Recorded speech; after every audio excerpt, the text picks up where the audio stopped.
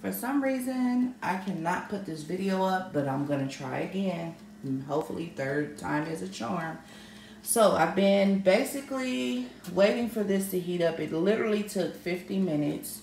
And um, it's just now heating up. As you can see, it's barely boiling.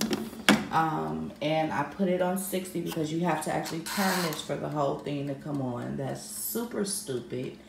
Um, it should just be a power button and you're able to use the eyes. I feel like the only time you really should be able to use the timer is when you're baking. I don't know why they have the timer for this part.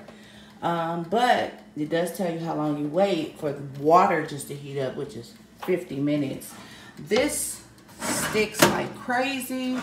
Um, and I'm moving as fast as I can, so I'm not going to say whole sentences. But this is sticky as all outdoors. Use foil if you are still having to heat up and work. Um, also, this is our second one. First one didn't come on at all. Second one comes on, does not heat food well at all. Literally took 50 minutes. My stomach is to my back. I'm starving.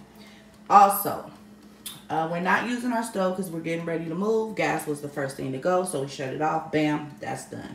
Now, we did one rotisserie chicken in here one time and the skin was beautiful, golden brown.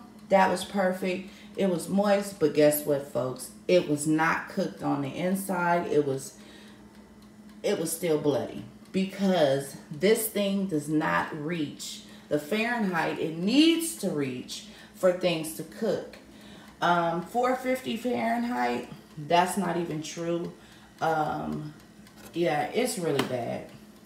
Um, I love NutriBullet. My father has the rotisserie. My mother has the air fryer. I have the NutriBullet. I love NutriChef. Love them.